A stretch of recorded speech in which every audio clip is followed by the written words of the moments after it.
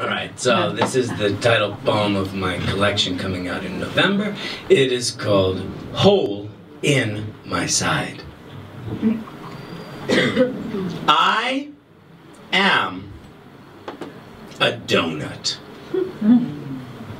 Barfing back my vicissitudes, crouched under pressure like a leaping tiger under my skin, crushed by the table I sleep under, wishing, hoping, dreaming, hissing with venomous breath the words, I am better than this.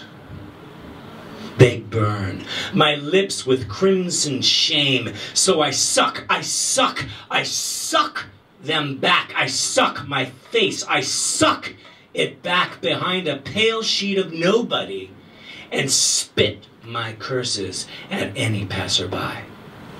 I spit their names, split their cracks, spite their flaws, sputtering up each and every splinter of their pasty little misfortunes.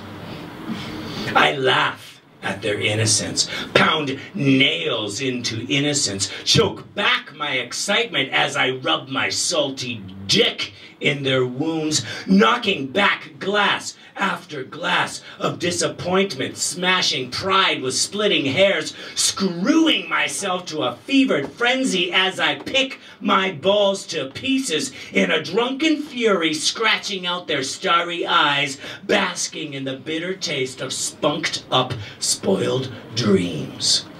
Until there's nothing left but a hiccup of ecstasy, lost in a trickle of stink down my thigh that licked the lips of nobody really. And in that moment, I look down on myself, soaked in a bloodbath of misery, and I know I am a donut. So, fuck me.